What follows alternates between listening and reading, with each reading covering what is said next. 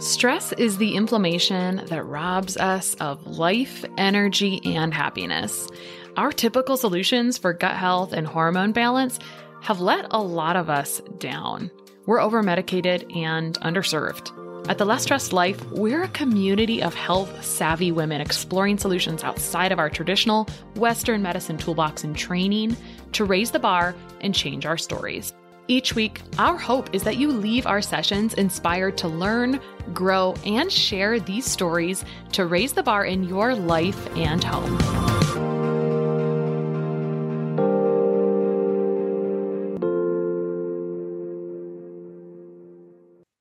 All right, today on the Less Stress Life, I have Dr. Ellen Cutler, who's a best-selling author and international speaker. Her books include Micro Miracles: Discovering the Healing Power of Enzymes, which is now revised and expanded. She has a chiropractic degree and specializes in the use of desensitization of food and other sensitivities, dental detoxification, and enzyme and nutritional therapies for chronic conditions. So she and I have a commonality in our passion to help people tolerate food better. So I always say I like, I am pro birthday cake and joy in life. And so I don't know about Dr. Cutler, but digestion, if I always joke to people that you can write on my tombstone that no one was digesting. So we're going to have a little chat about digestion today. Welcome, Dr. Cutler. Thank you. Great introduction. yeah. So I want to hear about your story. I know enzymes played a huge role into why you're so passionate about them. And then we'll go into a little bit of a one on enzymes, and then we'll get into some different unconventional uses of enzymes that maybe you haven't thought about before. But Will you tell us a little bit about your story about enzymes, yes. please? Enzymes saved my life. And so I've probably been using digestive enzymes more than anybody else on this planet at this time because that's oh, many years ago. Anyway, so I always, from a, as a little girl, always had digestive problems. I was always bloated, and foods caused me distress and cramping, etc. And I could never wear any pants with buttons. I was jealous of my girlfriends. I could wear all these pants and I was always bloated. And nobody really understood. I couldn't really talk to my parents about it. And it wasn't a life and death situation. And of course, even before my period, it would just get worse. It would mm-hmm. exacerbate too. So I knew hormones played a part as well. Anyway, so I went through life like that. And then I, when I started my professional training, and it got worse because I had to support myself. I would go to school all day and at night I would work in an emergency room to pay for my schooling. And then I have to study. So I don't remember sleeping at all. And I would try to get up and run every morning. And I just got so exhausted and my symptoms really got worse.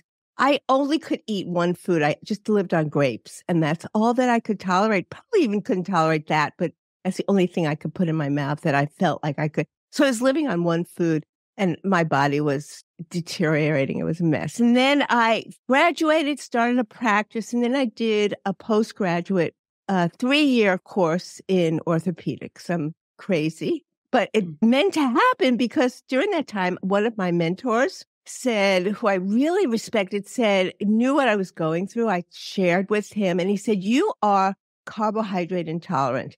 And I've always been a vegetarian most of my life. Now I'm a vegan. I've been a vegan for years and years. But and guess so I was eating all these carbs. That's basically what I ate. And you said your foods are fermenting, you're not digesting.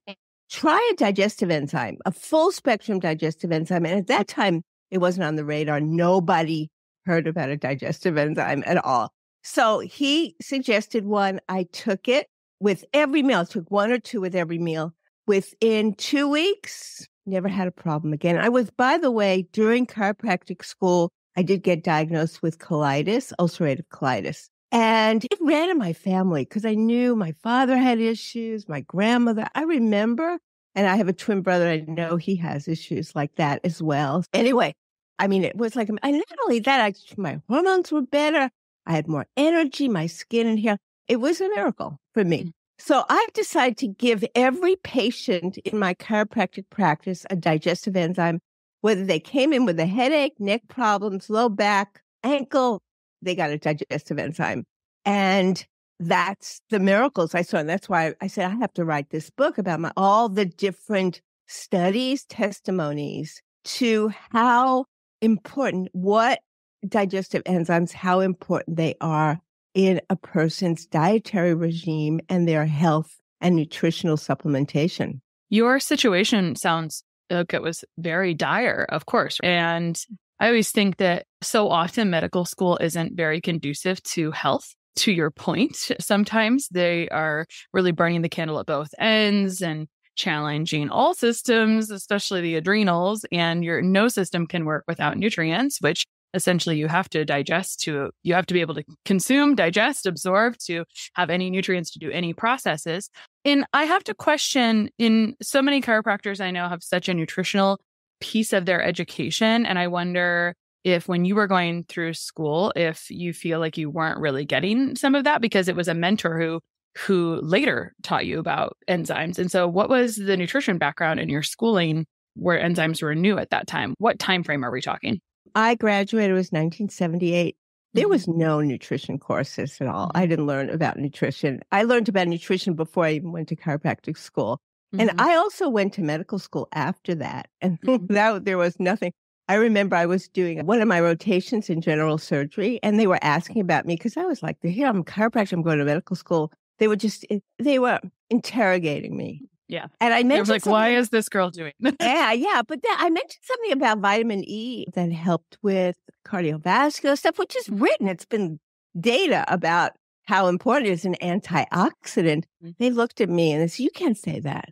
and even the medical school said, You're not allowed to say those things. So I didn't get any. So all my nutritional, I did extra courses and I did postgraduate work myself. Really, mm-hmm. there was nothing about nutrition in there, which is surprisingly, maybe nowadays chiropractic school does offer more classes because I know our educational classes afterwards, there is nutrition in it. Yeah. So I feel that chiropractics, most chiropractors I know have a decent, they have some kind of education around nutrition for sure. Whereas for sure, MDs, those going to other medical school, there is maybe one class. Typically, I've had that conversation with several people for sure. So let's get into enzymes a little bit more. So, enzymes should naturally be produced by your body. Let's walk through enzymes, the different types of enzymes, and what they work on. And then let's get a little more interesting. So, there are three different kinds of enzymes. And just to make it brief so people understand, there's our own digestive enzymes that our small intestine, our pancreas secrete, and our, our stomach too. And those are body producers. You can't replace those enzymes. So taking an enzyme doesn't replace those, but you can become deficient in them. And by the way, as you get older, you do become deficient in enzymes. So even why elderly people, when you give them an enzyme, they went, wow, it's just amazing how it's helped me because mm. there's a lot of digestive symptoms that they go through. Yeah. Then there's the metabolic enzymes, which are the enzymes that are so important in a body's eh, anti-inflammatory, helps with inflammation, helps the immune system, and helps the respiratory system, helps the repair system of the body, helps the brain. There's no system in the body that doesn't utilize some form of enzymes. Every, even mm-hmm. the thyroid, all the endocrine parts of the body as well. Those are important. Then there are food enzymes, which is what I'm talking about. So those are enzymes you get in whole plant food. But unfortunately, the soil has been so over agriculturized factors that make those enzymes in the plants are just not there. So the enzymes we're getting in our plants is not as potent as they should be. Therefore, even eating a whole plant food diet, those food enzymes that help your body digest are just not present. So when you're not digesting your food, you can deplete some of your own digestive enzymes. And guess what? Your metabolic enzymes are supposed to help you with the immune system or repair are used to digest food. And then you wonder why, how come I'm getting sick so often? Or how come I feel achy after I work out? Or, or why am I now diagnosed with fibromyalgia or more severe cancer or heart disease, etc.? So taking a digestive enzyme can help with all of that and chewing your food well also, because most of us don't chew our food because the enzyme cellulase that breaks down fiber, just not in foods. So the cellulose, the thing that helps it is chewing. So chewing your food helps as well as taking a good full spectrum digestive enzyme. what happens when people are to enzymes when people cook their plant foods, for example? Yes. So when you cook your food over 118 degrees, those enzymes are destroyed. They're denatured. Mm-hmm. Not all of them, but they are. So that's why having some raw food is important in your good digestive surplus for sure. So that's why I eat. I'm a raw vegan. Of course, that's not something that I advocate for everyone, although it's a great detox. If you want to do a detox for 10 days, do some raw vegan, but you got to chew your food well and taking the enzyme does support it. But kill cooking the food, yes. Let's talk about raw plant foods a little bit more and people who notice that they're specifically bloated when they eat raw vegetables. Let's talk about what's going on. They might say, "Oh, I can eat cooked things, but I can't eat raw things." And or on the same note, I'd like to talk about when people eat a food, let's just pretend it's broccoli and a cruciferous vegetable. And they will say, I get gas every time I eat broccoli. And they just don't eat it that often. And I have thoughts and things I might say about this, but I'd love to hear what your explanation is to this person. Some people do better with cooking it a little bit, just steaming the food, which doesn't denature the enzymes at all. But bloating, eating smaller meals, chewing well, taking a digestive enzyme will help with the bloating. Sometimes what you go through is a detoxification. Also, the body's detoxifying, getting rid of these like an autophagy, getting rid of old senescent cells or detoxing other toxins that are in the body. Some of the symptoms you can experience is some digestive. I have found that many people have one area they experience symptoms. Some people will get respiratory problems. Some people will get all the digestive stuff. Some people get headaches. These are sometimes signs of detoxification going slowly, chewing, taking a digestive enzyme usually makes a big difference. Some people say, I just can't do it, but it's not true. It's such a healthier way to eat is eating whole plant foods. There's nothing in the literature that says it's not the best diet. At least 70% of your diet should be plant, whole plant food. So that's what I say because I've been in practice for a long time. So I've heard them, heard it all. And lo and behold, maybe weeks later or years later, they'll say, you know what? You were right. I'm now totally vegetarian or, and I eat, I prefer it. I feel so much better. I eating the animal food didn't really do the best for my body as far as health and longevity. So that's what I feel. I don't know if that helps you answer the question, but yeah, I think you have people from both sides of the fence that claim the same things. And I don't really have a honestly a dog in the fight. I just like to enjoy food. I like people to digest food. And one of the things I feel is that when you don't use something, you lose it to some respect. I also think, and I talk about this all the time, and I'm sure you do as well, that stress suppresses all pretty much all digestive capacity. And so that's part of the challenge. And I think if you don't eat something very often, you may not be producing enzymes in the capacity that you should, because usually you'll find that if you continue to consume that thing, small amounts over time, your tolerance, your digestive capacity for that tends to improve, is my opinion. Well, but usually yeah. in conjunction with other supportive mechanisms. That's great. Bring up stress. The I had so many food sensitivities. And digestive mm-hmm. enzymes, by the way, will actually help with 80 to 90% of people with food sensitivities. It, it makes a big difference. I grew up in my family, every dinner table, I have a twin brother, we ate. My parents would fight. Mm. My father would walk out of the house. My mother would sit there and cry. It's like it was maybe not every night, but it was a lot of nights of the week. So wonder why I had all these food sensitivities as yeah. I grew up.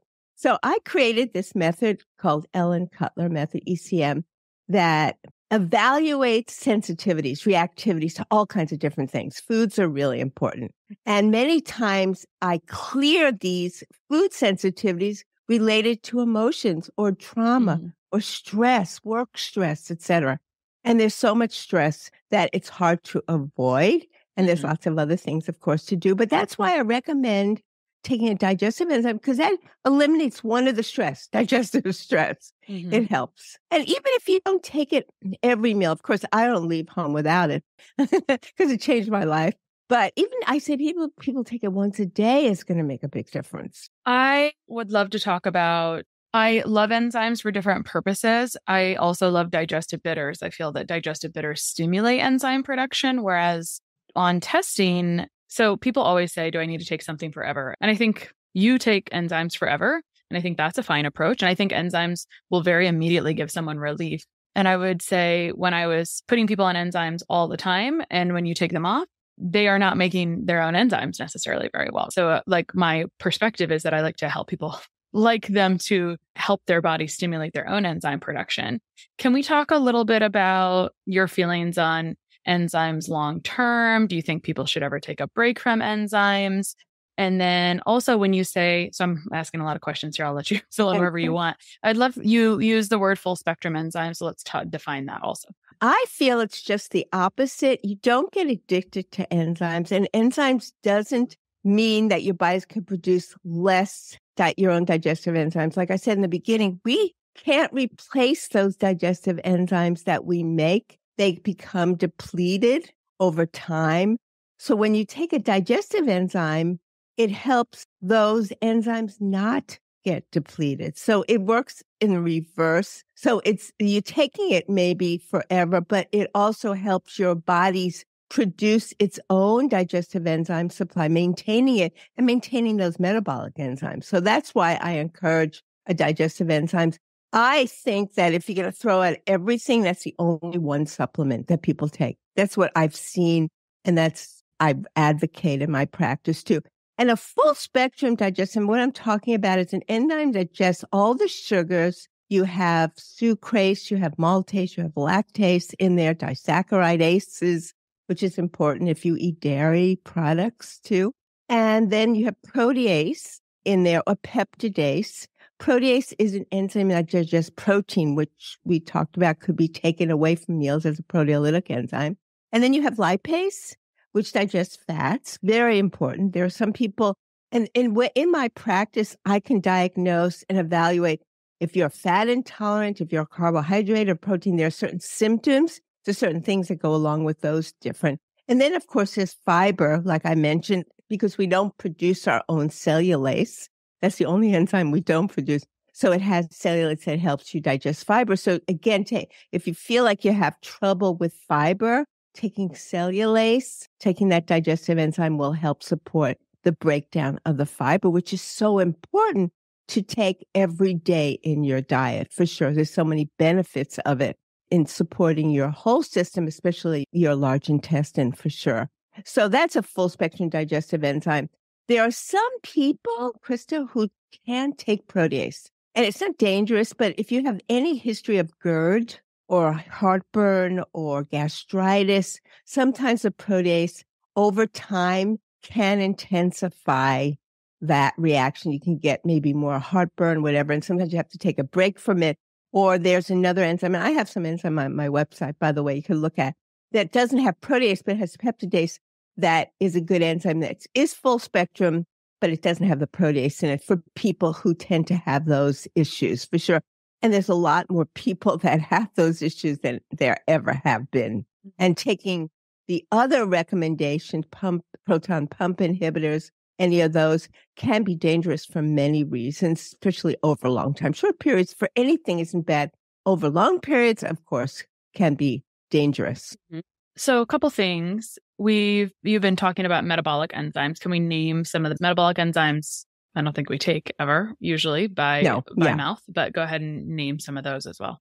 Those enzymes, they're not specifically like our immune system has certain metabolic enzymes that help it function more efficiently. And then you have those, when you have an inflammation, you have those enzymes to convert things to other metabolic uh, metabolites that help the body repair itself too. So specifically, I, it'll come to me, but, but protease is a metabolic enzyme mm-hmm. too that our body utilizes to help with repair. It helps with anxiety, but it's great anti-inflammatory too. Very important. It also can help eat up cancer cells. Mm-hmm. So it's uh, an enzyme that the body produces as well as you taking it that can help support your immune system and your repair system. And again, it's an anti-anxiety enzyme as well.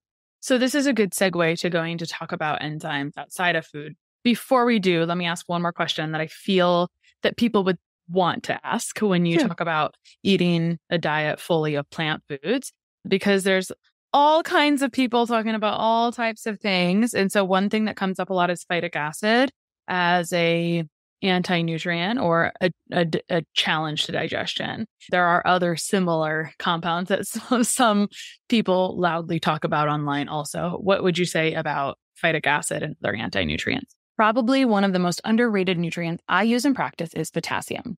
Low potassium can be a huge factor in energy, relapsing gut issues, thyroid function, and even regulating blood pressure. Now, your blood test for potassium will look normal most of the time. Otherwise, you'd feel faint and maybe like you're going to pass out. But your tissue levels of potassium will decline with an increase of the stress hormone cortisol. Big picture, I find it's just really hard for humans to get enough food based potassium in their diet unless they live in a tropical place. And I'm usually recommending my clients get at least 4,000 milligrams of food based potassium per day. That's why I really commonly recommend Jigsaw's pickleball cocktail to help my clients. It's one of the only electrolyte products on the market with a hefty dose of potassium at 800 milligrams per scoop, when most electrolyte products only have about 200 milligrams, making it really hard to reach those high doses of food based potassium I recommend per day. Plus, it's automatically the best choice if my client is dealing with swelling, which can be related to imbalances of sodium and potassium in the tissue. I'm a potassium evangelist, and Jigsaw's Pickleball Cocktail is one of my most used tools of the trade. You can get a discount on any of Jigsaw's amazing products, including Pickleball, at jigsawhealth.com with the code less stressed 10. That's three S's, less stressed 10.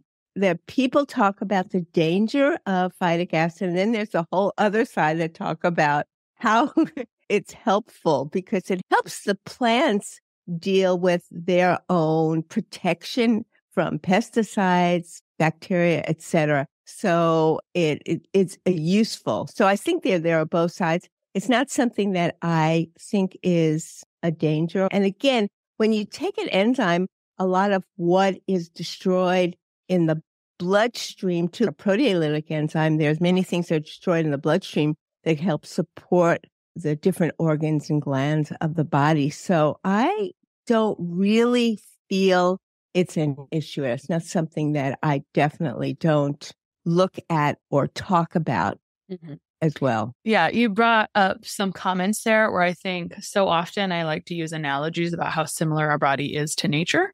And so I always think nature is not usually does not make mistakes typically. And so I love that's where I'm with you. I think that there is just a lot we could learn from how nature behaves and think that we're just a part of the entire ecosystem. So, all right, let's Well, get it's into interesting, Christa, too. Just one thing. You look at the people in the blue zones. Everybody's heard about the blue zones, people that these centenarians that live. And it's not so much that they, we, we want to maybe live to uh, a ripe old age. We want to live to a ripe old age feeling healthy. You don't want to feel sick. Mhm. And so there's been a lot written. I've read so much about it. I re- just read a book about centenarians too. And what they eat is root vegetables, mostly vegetables, and some, not all, but some like Loma Linda, because they're vegetarians, some put a little protein, maybe animal protein or a little dairy or whatever. But the bulk of their food is vegetables, which is interesting too. So it's again, it's not that I, I'm not like that. I'm not one of these people who said you have to eat that even if I, I would say just maybe 70% of your diet should be whole plant food.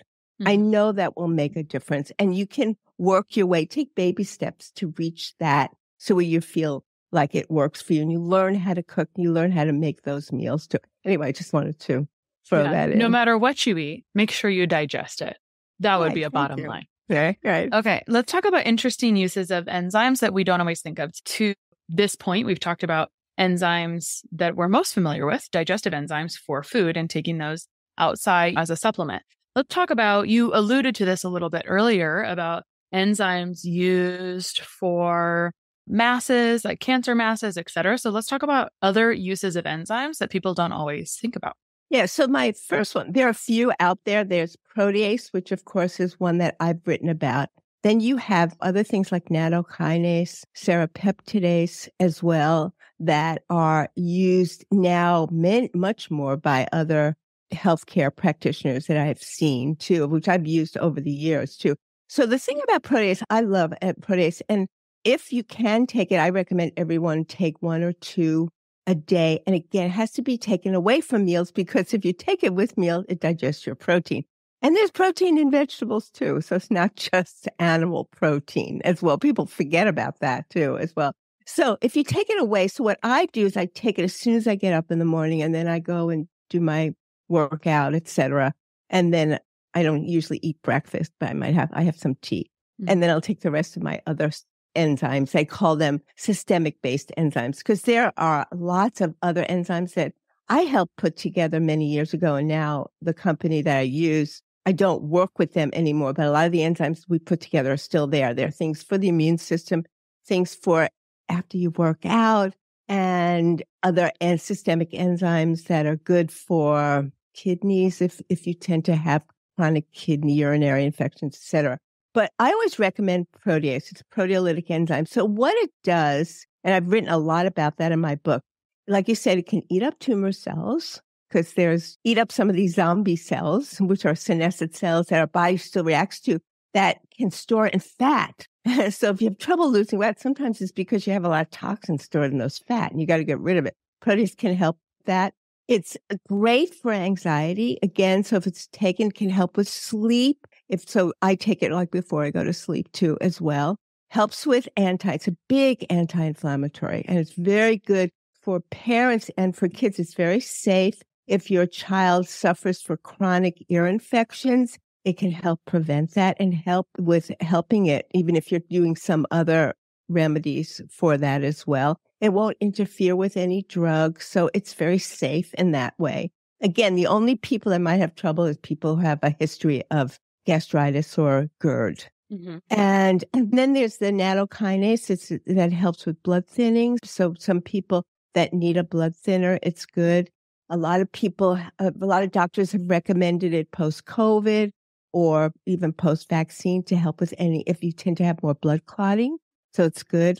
And, and then there's serrapeptidase, which is another enzyme that I've used too. It's also a great anti-inflammatory. So I use those in uh, often in my practice too. But protease is one that I've recommended for years and years and years. These typically these enzymes need to be taken away from food so they digest things that are not food. For example, exactly. if you're trying to digest a zombie cell, I find that if your body's distracted with digestion, that's what it's going to be doing, right? That's the priority right. at that right. moment. But if you're taking it away from food, it can go to work on other areas of the body. Our body has these natural cleanup processes that can become sluggish. Right. And I think just overall stagnant, which is, I think, part of the increase of disease overall, because we're not having good cellular detoxification, cleanup, and clearance of cellular debris and digestion and elimination of that. So, usually, uh, would you say, I know this is the case for sure with the protease enzymes, but would you say this is also the case with serrapeptidase and nattokinase also? Yeah, those I recommend away from meals too like you said, if your digestion is sluggish, it's going to probably do the digestion cleanup, which is good. Mm-hmm. It needs to do that.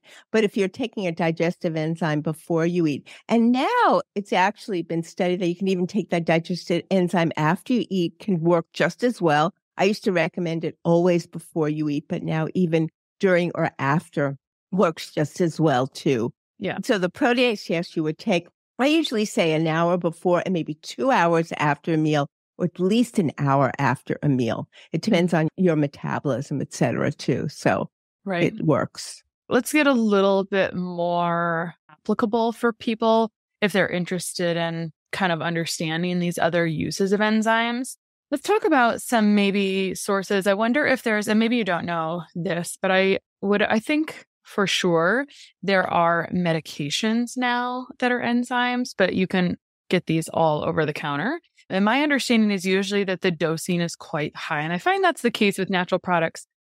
Dosing sometimes higher. If the stakes are higher, the dosing is usually higher and more frequent, just as a general rule of thumb. But usually when I'm looking at protocols related to proteolytic enzymes for particular things, maybe trying to digest a fri- fibroid or something, the doses are quite high, quite high. Could we talk a little bit about dosing appropriately? Yes. You can't take too many enzymes. It's not like a medication. So you can't overdose on enzymes, really. And not myself, but other doctors that have worked with even cancer patients have actually recommended up to 20 to 40 protease a day to help with cancer. Capsules. Yeah. And I don't work with cancer, so it's not something Mm-hmm. that I would do, but other doctors that I have studied with me that have used that in their practice with some good success, which is Mhm. interesting too. But if you're like, for example, if you're dealing with an ear infection, whether you're a child or an adult, taking one every hour is what I would recommend too. And if you can't take it away from food, that's okay. It's still going to work. It's so it's still going to do some of the digesting. So you might not get the full potency of it if it's away from meals, but it's still going to work for you too. So I would say take every hour. Or if you're dealing with, you feel like you're getting a cold or some kind of virus, you can start taking the protease in combination with high vitamin D and some other enzyme supplements that I recommend too. I have one that's called nose and throat, for example, that has a little garlic in it and vitamin C and all the supplements I deal with, all food or herbal extracts in a combination with enzyme. Because protease will also help catalyze, because that's what enzymes do, the other utilization of the herbs or the vitamins too. So when you take it in a combination supplement, it's very potent. So if you're taking, like, say, rose hips as vitamin C and you're taking it with protease, it can actually enhance how well that rose hips can do as a vitamin C supplement. So that's sure. been my practice for years and years. I looked, I don't I'm, I don't feel our body was supposed to take so many different supplements. Literally, if you read as much as I do and you take everything you, all you'll do all day is take supplements. And besides the fact that probably some of them you're sensitive to and some of them you don't, and some of them might even be toxic, it's a lot of money. Mhm. And I rather see people eat food and take it, like you said, and digest that food and maybe take a other couple of things like vitamin D as well, or like things that, if let's say you have trouble with methylation, maybe taking a good B vitamin supplement will support that because you know you need that. And you don't need to do these things forever either. Sometimes it's good to take a break with it, except for digestive enzymes, unless you take a break from eating, then you mm-hmm. don't need them. Yeah, I am a proponent of always taking a break from supplements to see how people feel off of them. And I think there's a lot of directions people can go here. So you were talking about how you cannot overdose on enzymes and how sometimes when the stakes are very high, a very high dose is often recommended. Let's talk about maybe some possible side effects of high dose enzymes. I would think potentially loose stool, but also when you're taking some of these proteolytic enzymes, the die-off reaction, you can feel achy all over and fatigued as these things are breaking down, as you have cellular debris breaking down. Um, This is my opinion and what I've seen. Do you have anything to add to that? Yeah, I haven't seen that much with enzymes. With other detoxification products, I have.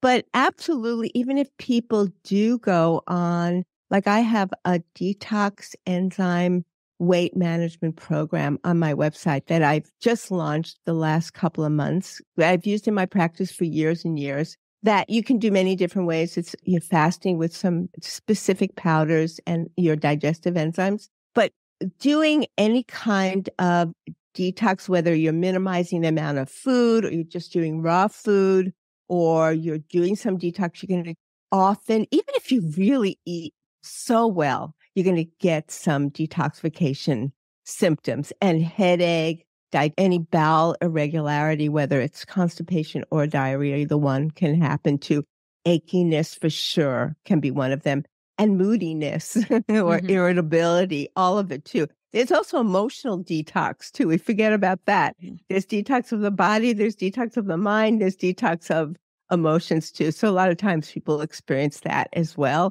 And this goes for animals too. Animals go through the same thing. By the way, I give my dog, I've always given him a digestive enzyme with each meal, a half with first meal in a day and a half. All my animals have always taken digestive enzymes, by hmm, the way. I actually want to talk about that for a second. My the other RD mm-hmm. in my practice, and I don't have a dog. She has a dog, but apparently dogs are very plagued. Most most many pets are very plagued by cancer, but many are plagued by significant allergies and skin issues. Oh, and again, back to how we are so similar to nature. So you are on a raw vegan diet. There are a lot of, I've heard a lot of proponents talk about how dogs should be on a raw food animal diet. I'd love to know what kind of diet you keep your dogs on and your thoughts about enzymes and allergy. Because I was going to talk to you about allergies and, and enzymes. And so let's just start with animals because I think we are not taking cues from these health things that are going on with animals nearly enough as we should. So can you talk a little bit about what kind of diet, if if at all, you have your dogs on. And then let's talk about the enzymes. And did your dogs ever have, or did your dog ever have any health issues that were alleviated with enzymes? My old, my dog's been a real story.